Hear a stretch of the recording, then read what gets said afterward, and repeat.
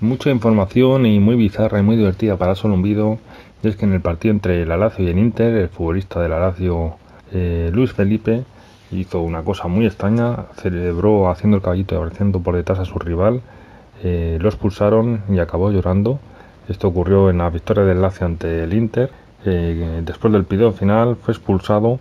Y es que en la celebración de, de la una victoria muy importante, pues Luis Felipe abrazó a Joaquín Correa, que en este caso era su rival, pero hay que recordar que mm, Correa antes de jugar en el eh, este verano jugaba en Alacio y se fue eh, al Inter. Eh, son muy buenos amigos, pero a Luis Felipe se le fue la pinza.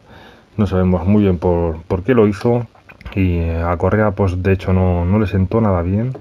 Y en ese momento hubo una tangana entre los, los dos equipos. Hay que recordar, como hemos dicho, que son dos grandes amigos, compañeros el año pasado o hasta la temporada pata en Alacio, pero al Tucu Correa no le gustó esta celebración, reaccionó de manera agresiva y el resto de jugadores, pues sus compañeros del Inter fueron a defenderlo y viendo esta reacción de Luis Felipe, de su gran amigo, pues no le gustó y acabó llorando, así que yo creo que esto no va a pasar a mayores, ha sido calentón.